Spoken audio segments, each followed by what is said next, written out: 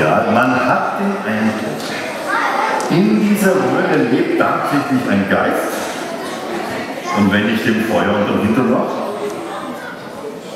dann fängt er an zu heulen. Jetzt kann ich den Geist herausleeren, dann ist er still und jetzt leere ich ihn wieder rein und er heult wieder.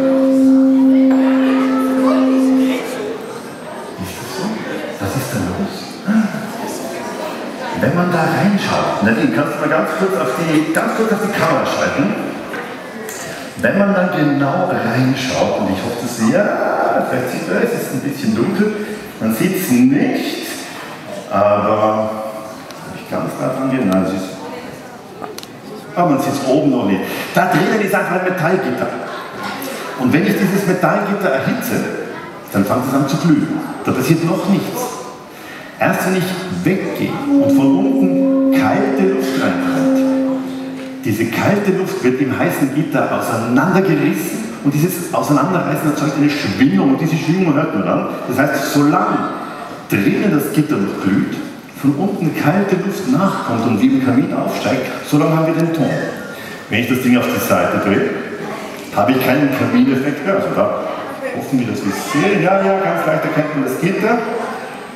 Aber du kannst, Nadine, schalt, schalt schon, die braucht schon so lange Decke, schalt schon wieder um auf die, auf die Folie. Ähm, also nur wenn ich vorher über der Flamme war, das Ding noch glüht und von unten kalte Luft senkrecht reinströmt, ist der Ton da. Wenn ich es auf die Seite lege, habe ich keinen Kamineffekt, passiert nichts und wenn ich es wieder aufstelle, dann tönt es wieder, solange drinnen das Ding noch glüht.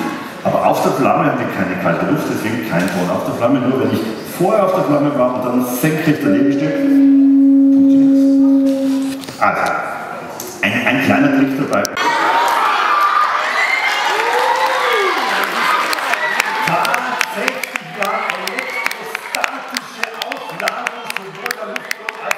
Der Mistsatelliten sind aufgeladen.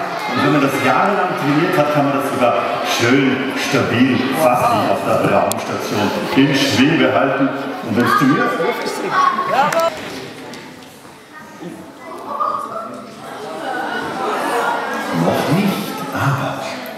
vorher was ausprobiert.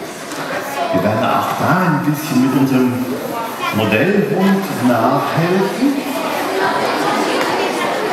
Und jetzt schauen wir, ob das funktioniert.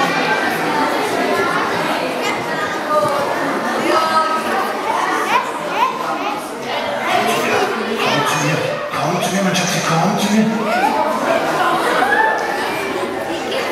Hoppla. Ja, die Moleküle haben zu schnell. Komm zu mir, komm nach unten, komm nach unten, ja, komm zu mir, komm zu mir. Ich berühre dich nicht, komm zu mir, komm nach oben. Und so kann man wirklich fast magisch den Ballon. Und dann klopfe ich hinten auf und wir schauen, was passiert.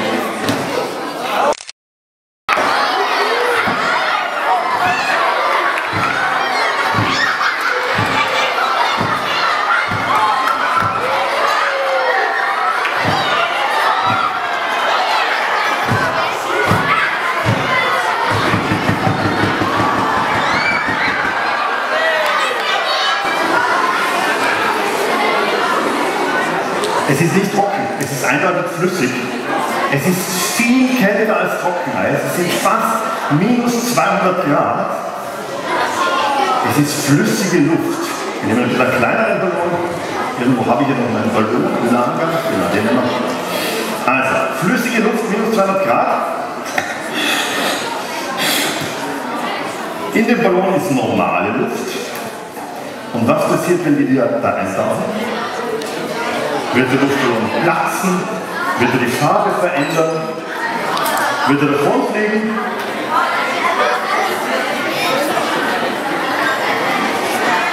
Ich fülle bitterkalte flüssige Luft über den Ballon.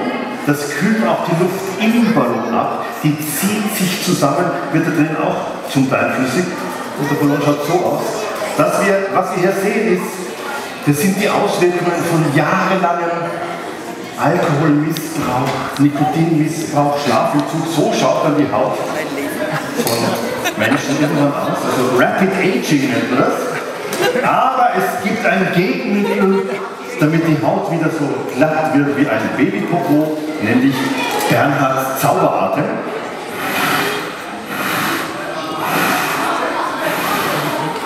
Und alles ist wieder gut, alles ist wieder perfekt. Okay, wir füllen jetzt diese, die will sich ausdehnen. Und wir schauen, was passiert, wenn sie sich ausdehnt.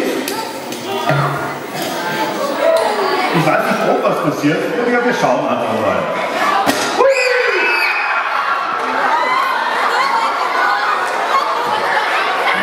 Die volle Ladung flüssigen Stickstoff in einen Hügel.